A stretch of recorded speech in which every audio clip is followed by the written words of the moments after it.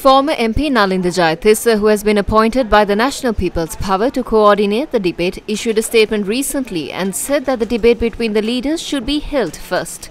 Nalinda Jayathissa added that if the SJB is not willing to officially participate in this debate, then a debate could be held between the Economic Council of the SJB and a similar body of the NPP. This was the response of parliamentarian Nalin Bandara, who is coordinating the debate for the Samagi Jana Balawegaya. අපි මේ විවාද දෙකටම සූදානම්. We are ready for both of these debates. Sajith Premadasa has himself said that he is ready for the debate.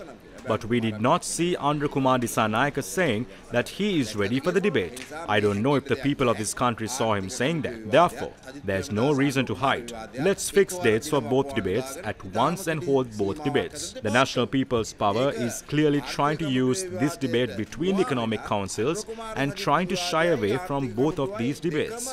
That is why they are quoting a part of what they said 15 months ago and are attempting to say that they were the ones who challenged us first. Nothing like that happened. We can clearly see that they are trying to shy away from this debate. But we will not shy away from this debate. Sajith Premadasa will also not allow them to shy away from this. The NPP should then send us a notice in writing saying that they are scared of the debate between the economic councils and that they do not want to hold the debate. Or they should tell us that they do not have something similar to our economic council. Or if they say that they have no one else but Anura Kumara Dissanayake to speak for any event, that would be alright. Since Sajith Premadasa has already accepted the challenge, he will go ahead with the debate. They are trying to use one of these debates and shy away from both of the debates. We are not afraid of either one of these debates. We know that the National People's Power will split if that debate is held. We will set dates for both debates at once. I hope on meeting my colleague and friend Nalin Jayathissa after the festive season and discuss these matters.